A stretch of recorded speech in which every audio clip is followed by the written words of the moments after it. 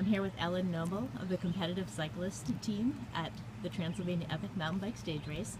We just wrapped up stage number two today. So, Ellen, can you tell me how your experience is going so far this year? Uh, so far this year, it's going a lot better than last year. I think I kind of went in a little too hot last year, and I've just focused on trying to keep it consistent and not burn out by the end of the second stage, which I didn't do. And I've drastically improved on my times over last year, so I'm really happy and looking forward to the coming stages because I think I'm I think I'm going to see a lot better results this year. Great. So I noticed in the results that you're currently sitting second in the general classification for the U25 riders, as well as second in the enduro classification. How do you balance going for both of those at the same time?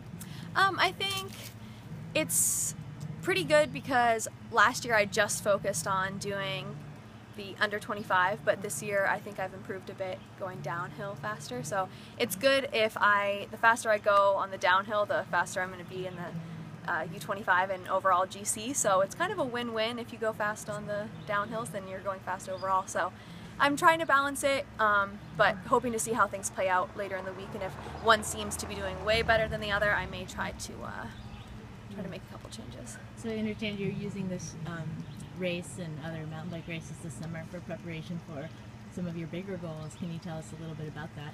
Uh, I'm really trying to focus on my cyclocross season this year. Uh, I've always used mountain biking as kind of a way to prepare myself for cyclocross, and they just recently added a youth worlds category for cyclocross, which is huge. Nice. So I'm really trying to push for that, hoping to get selected and be able to go over there uh, next February. So it's pretty long ways away. So I'm just trying to use this to build up my technical skills and um, stay fit but not go too hard right now so that I'm not burnt out by the time next winter comes around. Great. Yeah. And you're one of our BikeFlights.com ambassadors. Can mm -hmm. you mm-hmm. tell us what you've liked about our service so far in your uh.